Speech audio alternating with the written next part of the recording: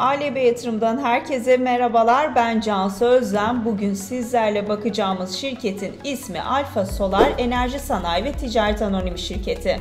Alfa Solar Anonim Şirketi 2011 yılında kurulmuş olup enerji sektöründe faaliyet göstermektedir. Aktif personel sayısı 450'dir. Şirketin ödenmiş sermayesi ise 46 milyondur. Şirket Anadolu Grup Holding anonim şirketinin sermaye grubunda yer alıp en büyük sermaye payı %80 ile Alfa Kazan Enerji ve Çevre Yatırımları Anonim Şirketi'ne aittir.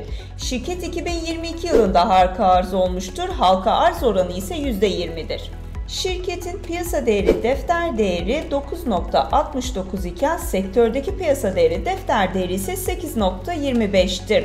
Şirketin fiyat kazanç oranı 40.68 iken sektördeki fiyat kazanç oranı ise 17.08'dir. Şirketin net karı geçen yılın aynı dönemine göre %1,21 yükseliş göstererek 543 milyon TL olarak gerçekleşmiştir.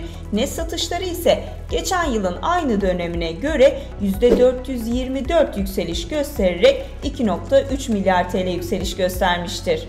Şirket doğa dostu üretimiyle sosyal sorumluluk projeleri yöneterek dünyadaki tüm çevre kirliliğini sonlandırmayı hedeflemektedir.